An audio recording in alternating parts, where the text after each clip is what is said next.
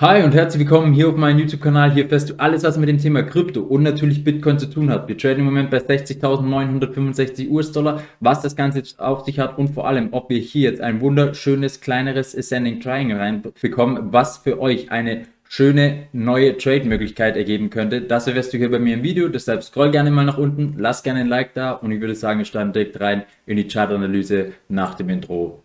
Let's go!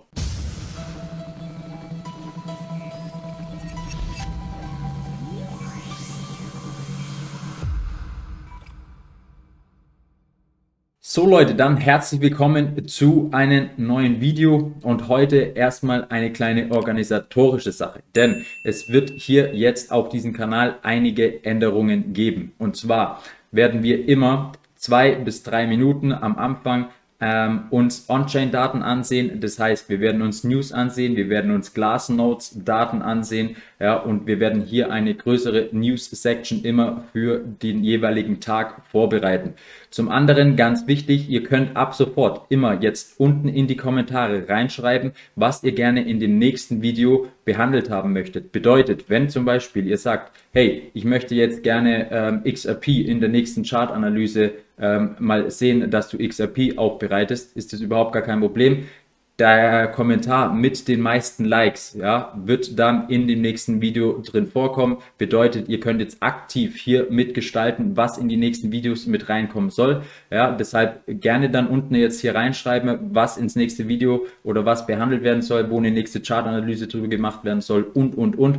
Und der Kommentar mit den meisten Likes darunter wird dann in den nächsten Video mit eingepflegt. Also das grob mal fürs Organisatorische und ich würde sagen, wir legen legen jetzt auch direkt los. Und zwar legen wir los mit der News Fear and Greed Index. Der Fear and Greed Index ist jetzt auf 74 gestiegen.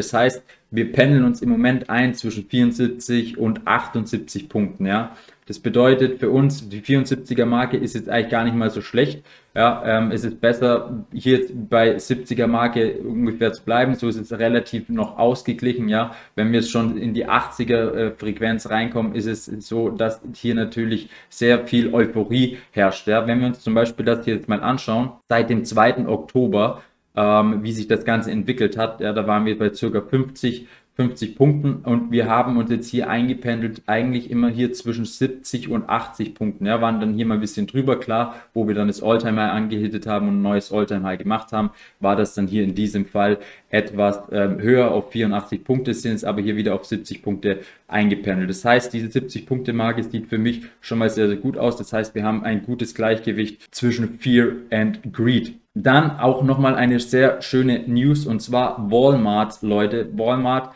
baut im Moment ja knapp, ich glaube, 300 ähm, Bitcoin-Automaten in ihren jeweiligen Walmart-Stores auf. Das bedeutet, Kunden können dort mit Cash an diesen Bitcoin-Automaten sich Bitcoin kaufen ist jetzt auch wieder ähm, eine sehr bullische News, wollte ich euch hier auch mal mitgeben, weil das wird hier jetzt wirklich sehr, sehr interessant werden, weil Walmart, ja, ihr wisst, das ist eine der größten oder der größte äh, Supermarkt, wo du alles bekommst, einfach, ja, ähm, von Lebensmitteln bis Elektronik, also wirklich alles. Ja, die geben jetzt hier ihren Kunden die Möglichkeit, sich an solchen Automaten ähm, via Cash Bitcoin zu kaufen. Also da auch wieder eine sehr spannende News. Ah, 200 Kiosks, nicht 300 Watt, 200. Aber ist natürlich auch sehr, sehr interessant. Warum sehen wir denn im Moment hier diesen, diesen Abverkauf? Ja? Warum haben jetzt auf einmal hier äh, 2, 3, 4 Prozent jetzt verloren in kürzester Zeit? Und das habe ich euch auch gestern gesagt. Es ist deshalb so, weil viele Leute im Moment Profite realisieren. Es sind sehr, sehr viele Leute daran jetzt interessiert, ähm, Bitcoin komplett auszucashen, weil es ihnen zu heiß wird oder was auch immer, weil sie endlich jetzt im Profit sind, ja. Und jetzt schauen wir uns das Ganze mal an, was ihr hier seht. Und zwar die orangene Linie bedeutet, das ist die Linie mit den Bitcoin-Adressen, die hier circa einen ähm, Bitcoin auf ihrer Wallet oder auf ihrer Exchange oder sonst wo liegen haben.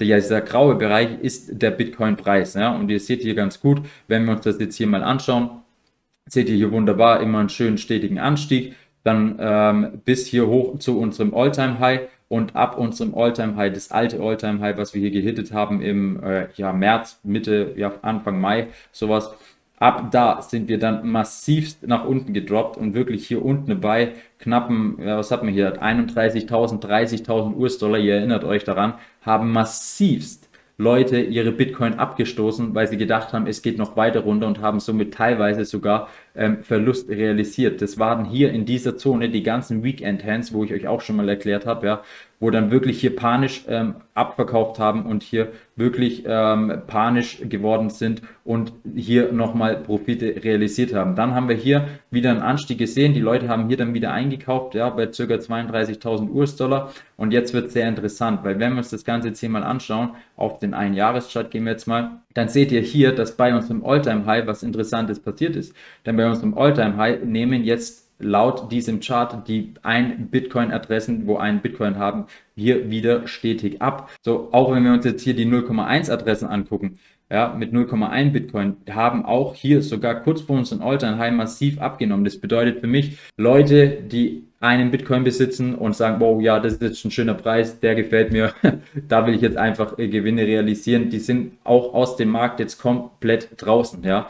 Ähm, deshalb hatten wir das jetzt hier auch so schön gesehen auf unserem Bitcoin Preis. Ja, deshalb gehen wir jetzt hier mal rein in den Bitcoin Chart. Seht ihr hier wunderbar, dass wir hier jetzt eine Korrekturphase von unserem All-Time High bis runter gesehen haben von knappen 10%. Und es kommt ganz genau daher, dass viele Leute einfach im Profit waren und jetzt Profite realisiert haben. Völlig normal, ähm, dass man das hier sieht bei einem All-Time High. Jetzt wird es nur wichtig, was wir hier jetzt für den heutigen Tag erwarten können. Und für den heutigen Tag wird es jetzt ganz entscheidend, ob wir hier nochmal ein kleines Ascending Triangle formen, hier gegebenenfalls nach oben hin ähm, durchbrechen. Ein technisches Preisziel von diesem Ascending Triangle wäre circa, tun wir mal ein bisschen näher hin, wäre hier circa 62.700 US-Dollar. Falls wir nach unten fallen sollten, gehe ich davon aus, dass wir hier Richtung 59.500 Dollar nach unten droppen könnten. Wichtig ist die psychologische Marke von 60.000 US-Dollar, ja, ganz, ganz wichtig. Sollte das jetzt hier auch nicht halten, ähm, kann es sogar nochmal sein, dass wir hier Richtung 57.000 US-Dollar nach unten fallen könnten,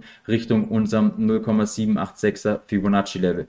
Was mich dennoch sehr positiv stimmt, ist, wir wurden zwar gestern hier abverkauft, haben aber hier mit dieser Candle hier ein wunderschönes grünes Volumen nochmal reingekriegt. Schönes großes Volumen ist hier dann reingekommen. Das heißt, jetzt gilt es mal abzuwarten, was hier jetzt passiert. Ähm, und vor allem jetzt auch für das Wochenende ist es ganz, ganz wichtig. Es stehen volatile Zeiten bevor. Und ähm, am Wochenende, immer am Sonntag, war es jetzt die letzten Wochen so, dass wir immer kurz vor 12 Uhr hier nochmal einen schönen Pump oder auch Dump gesehen haben. Deshalb passt da auf, am Wochenende ist meistens nicht viel los.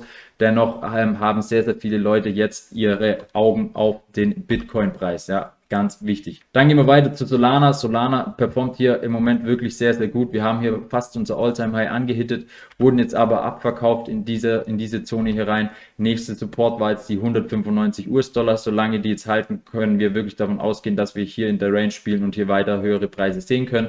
Sollten wir nach unten fallen, ist die nächste Supportzone bei 183 US-Dollar. Dann gehen wir weiter zu Cardano. Bei Cardano ähm, komplett Seitwärtsphase, selbst auf dem 30-Minuten-Chart, da passiert absolut gar nichts nichts. Auf dem 4-Stunden-Chart seht ihr das hier. Auch auf dem 4-Stunden-Chart haben wir hier immer noch unseren, ja, unsere 2 Dollar, die einfach wunderbar halten. Für Cardano gehe ich auch davon aus, dass wir bei Cardano erstmal weiterhin ähm, ein paar Tage, vielleicht sogar auch Wochen in die Seitwärtsphase übergehen, bevor wir hier einen nächsten Move sehen könnten.